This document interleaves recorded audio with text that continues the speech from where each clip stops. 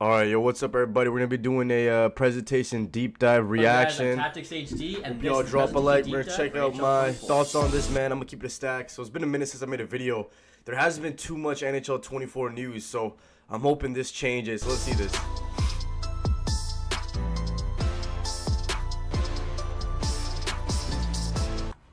Again, like I said, the graphics definitely look a little bit better, man. But I'm gonna keep it a stack, man. I don't really believe trailer graphics, man. Yo.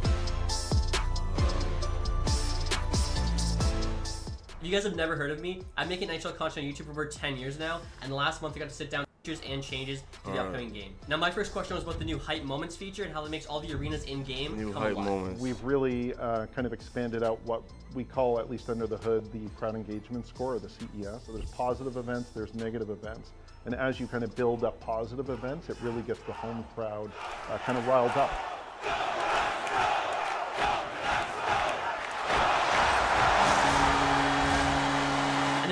That's pretty cool, man. But like, I feel like this this this sounds so cringe, man.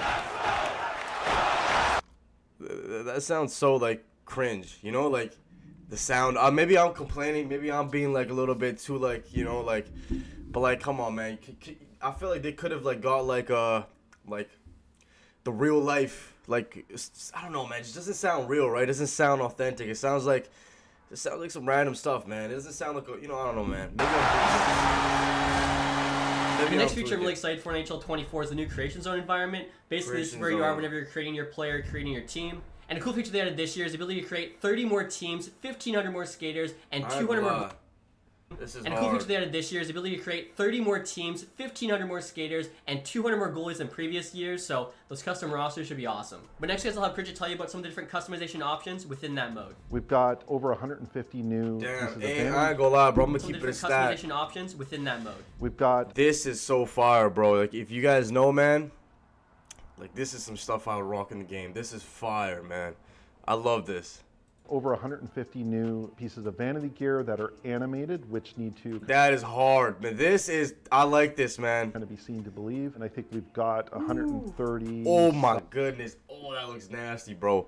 This is some stuff I rock in the game, bro. thing pieces of vanity gear that aren't animated but look super premium. We've got a new Yo. no tape gear that This aren't is fire. animated but looks super premium. Nah, man. I might actually have to hop on World of Chell this year, man. This actually looks fire. This this is fire, bro.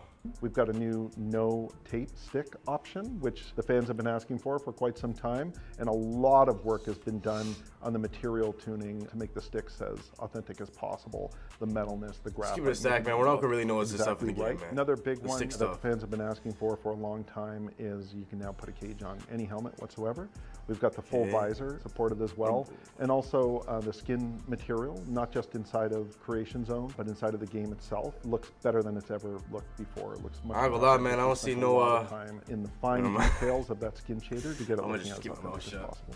And it has to be the most drastic change of presentation in this year's game, guys, It's the new Flex Moments. No longer are you celebrating from your regular camera angle, but you're actually up close and personal now on your player. I'll have Pritchett tell you the thought process behind that change. previous years we've allowed the user to celebrate, but it's always just been from the gameplay camera. So you're kind of just a few pixels celebrating on the screen. And if you look at, you know, any images on Twitter, Instagram, whatever, of your favorite player celebrating, it's always like down low and up close, and you can kind of see the full body and the face. They're usually screaming, kind of thing. Uh, we needed to capture that. So in offline modes like franchise, I'm gonna and, keep it a uh, stack, playing guys. I don't know about you guys. I, I really don't. I didn't like the celebration system in the in the playtest. I just feel like when you're playing, like for for example, me, man, like when I'm playing Hockey Ultimate Team and I score a goal, bro, I, I don't like it gets it gets it's gonna get boring pretty quick. You know what I mean? So it's like I don't know how I feel about this. Just I I, I, I know what they're coming from. It's a cool. It's definitely a very cool idea, right? But at the same time, it's like it let, let's say like you're losing four nothing, man, it's just gonna get boring, bro. You're just gonna end up rage quitting. If I'm losing, like if, if, if a guy scores four nothing on me and he keeps doing these these celebrations, I'm leaving the game. I'm rage quitting. So I don't know. It, it, it's gonna get old pretty quick. Authentic modes. Um, That's you know, how I we have feel, a though. selection of authentic celebrations that can be chosen, along with um, signature I celebrations. mean, that's how I feel personally. players. Like, and then in they're cool. They're they're definitely cool. Like right here, World of Chell. Like like World of Chell. I don't know, man. There's I just 75 feel like- new celebrations that are.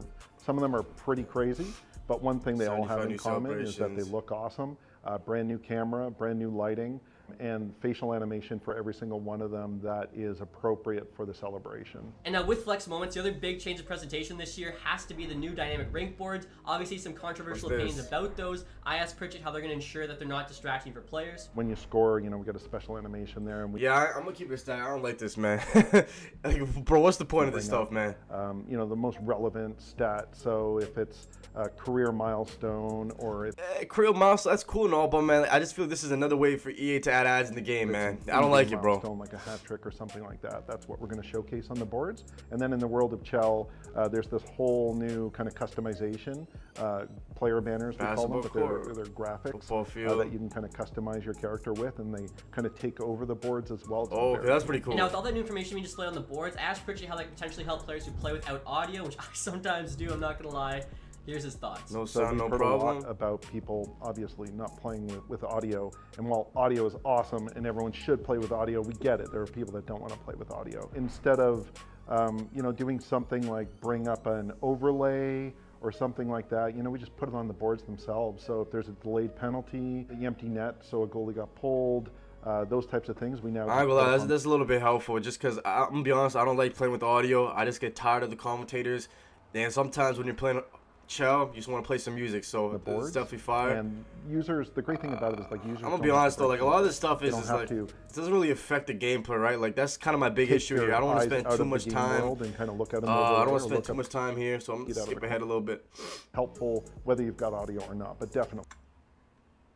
Exertion on players, which is very cool, as well as new facial animations. I asked Pritchett to tell us more about that feature, as well as whether or not it'll be available on all consoles. All of the new heads, 22 new star heads, they're in all platforms, so Gen 4 and Gen 5. there's but new the heads. exertion is Gen 5 only uh, this year, and it's a great feature. But what you'll see is the exertion, the player's face, they get more flush, they get more sweaty, kind of as they're out there on the ice working. Uh, they get back to the bench, they take a little bit of break, kind of calms down a little bit, they jump back on, and starts all kind of all over again. So it's a very cool little detail to see, especially with some of the replays that we have that get kind of up close and personal with the players. But yes, Gen 5 only this year. Now, if you guys haven't heard yet, there's actually a new color commentator in NHL 24. It's no longer Ray Ferraro, it's now Cheryl Pounder. And I asked Pritchett to explain what made her the perfect choice for that role. Cheryl kind of came in at this last second audition for us, and it was like, oh, she's meant to be working on this Well, game. it's incredible. You can tell that they are moving and shaking. They're getting the puck going north. They're transitioning. I'm so glad, man. I'm glad, yo. They Ray need Ferraro their got opponent on their boring, man. I hate Ray Goaltender, Ferraro, They man. have to have talent. They have to have mobility. They have to be able to track the puck, but they have to have a willingness to find it and fight for any second shot. And that's exactly what happens here. Out battling, out willing, and you make the save. And now, in addition to the new color commentary, guys, there's actually authentic tracks being used as part of the new face-off moments. And you can hear Face-off Pritchett talk moments. more about that. Face-off moments are pretty awesome. We're bringing authentic music back into the back end of the game or the actual game itself. What we're really going for is authentic emotion. So we needed those authentic tracks, and we got some classic tracks like uh, Darude Sandstorm. We got Tsunami by DVBBS, Fitz and the Tantrum, Hand Clap, and of course we've got Cha Cha Slide as well, which everyone's going to recognize. Cool thing about those All right, man. So sweet. That's all nice and. Alright, this is copyright. I'm not trying to get copyrighted, man. You know, I ain't trying to get copyrighted. Presentation feature on NHL 23 had to be the on-ice projections, but I asked Pritchett whether or not we'd be getting any new unique ones for different teams in NHL 24. Oh, I hear this one. Here's On-ice said. We reached out to uh, the teams that we didn't have an authentic on ice projection for. That's so fire. We've got Washington properly represented. We've got Montreal properly represented. We have the Seattle Kraken, which looks absolutely sick inside of the game, plus others as well. But yes, definitely an effort was made there to try to get away from some of those generic on ice projections that we had for some of the teams and get That's us pretty cool. I ain't gonna lie. And now finally here, guys, this is a big one for franchise guys like me. I asked whether or not the offline replays were returning to NHL 24. Here's your answer. Yeah, so this year we brought back the full replays. Uh, Full For replays. all offline modes, franchise, be a pro, and play now, and, and the others. All right, guys, that's Um, kind of gonna wrap it up, man. I'm gonna keep it stacked. It- it- not too bad, but at the same time, uh, yeah, this guy doesn't like the celebrations. Cool for every, but not every single goal. Uh, yeah, I agree with that. I'm just trying to see the comments, man. Uh, I, I, I, do want to give EA a little bit of credit. Seems like they're definitely, you know, taking a step ahead. You know, they're definitely, you know, caring about the product and everything this year. But at the same time, man, like, uh, I do think a lot of the presentation stuff is just, it is what it is. Like, it's it's just something that's nice, but it's you know we don't really need it. I'm gonna keep it a stack when you're playing. Really, the most important thing is just the gameplay. So I, I really hope that they release the hot deep dive and all that stuff pretty soon because Um, this is all cool, but like at the end of the day, like what makes or break the game isn't gonna be uh, the uh, the billboard on the on the ice or you know someone's face sweat, right? So uh, that's kind of my opinion on it. Drop like, subscribe, catch you guys in the next man. Uh, peace out.